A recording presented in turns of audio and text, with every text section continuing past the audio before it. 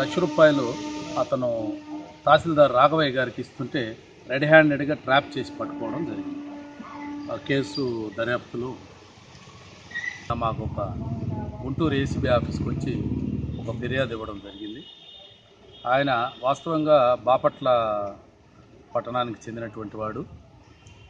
National highways two sixteen ఎక్స్టెన్షన్లో భాగంగా బాపట్ల టౌన్కి బైపాస్ వేస్తున్న దాంట్లో ఆయన యొక్క ల్యాండ్ రెండు వేల పదహైదులో ఇచ్చినట్టు నేషనల్ హైవేస్ వాళ్ళు ఇచ్చినటువంటి నోటిఫికేషన్లో అక్వైర్ చేయడం జరిగింది.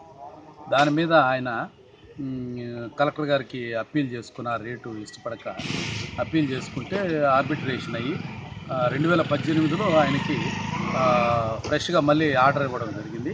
ఆ ఆర్డర్ ప్రకారము ఆయనకు వచ్చేటువంటి కాంపెన్సేషన్ను ఎంఆర్ఓ గారి ద్వారా అప్లై చేసుకుంటే జాయింట్ కలెక్టర్ గారు అమౌంట్ రిలీజ్ చేస్తారు. ఈయన పొలము ఎకరం ముప్పై సెంట్లకి ల్యాండ్ అక్విజిషన్లో పోవడం జరిగింది. దానికి సుమారుగా అరవై నుంచి డెబ్బై లక్షలు వస్తుందని అతను చెప్తున్నాడు. ఆ పని మీద మార్చి ఇరవై తొమ్మిదో తారీఖు నాడు వచ్చి బాపట్ల తహసీల్దార్ గారు అయినటువంటి రాఘవయ్య గారిని కలిసి ఆ క్లెయిమ్ ఫామ్ నన్ననే ఈ రకంగా నేను పీడిస్తుంటే సాధారణమైన రైతులు పంచగట్టుకుని వచ్చేవాళ్ళు చదువు లేని వాళ్ళు వాళ్ళ పరిస్థితి ఏంటండి?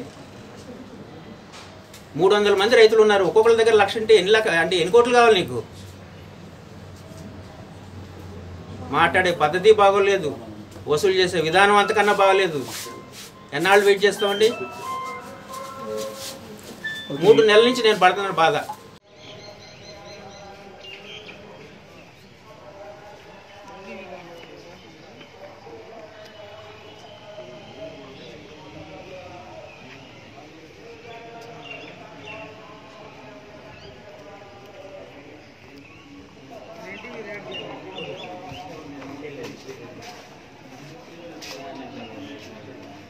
किसी किसी में अच्छा है।